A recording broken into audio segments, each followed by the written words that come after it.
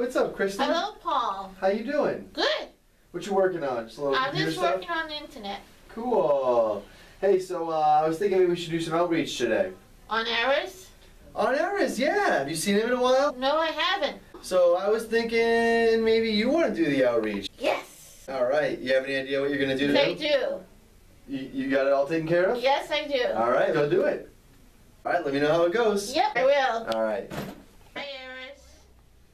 Who are you? I'm an outreach fairy. Really? Yes, really. Why? I was sent here to to to um to help you come back to the clubhouse On my planet. on your planet. Really? Yes, really. This is how the clubhouse does outreach? Yep. Sending a little thing. Yep. Ugh. This is a mockery. See ya. See ya. You wanna be a Oh, I feel so frustrated. Hey, what's up, Christy? It didn't go well. Why not? Because it just didn't. Well, what was your approach to try to do outreach? I can't say.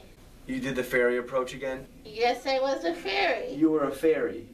Ah, listen, according to Clubhouse num- Standard Number 7, the Clubhouse provides an effective reach out system to members who are hospitalized, not coming in, or isolated. The key word there is effective. Yes, now I understand. I won't be a fairy anymore. All right, yeah, the fairy approach is not very effective. We can try again tomorrow, and, and we'll leave the fairy uh, approach out of it, okay? I, I will. All right, right here. All right.